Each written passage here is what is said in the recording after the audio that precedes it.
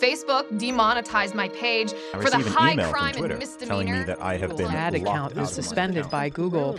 We got suspended off interference Twitter. with- I became very insecure with the reliability of YouTube and all the platforms. I was seeing so many people get their videos censored. This is not just an issue for PragerU. It's not just an issue for content creators. It's certainly not just an issue for those on the right. This is an issue for all citizens who believe that they should hear the truth and make their own decisions about things.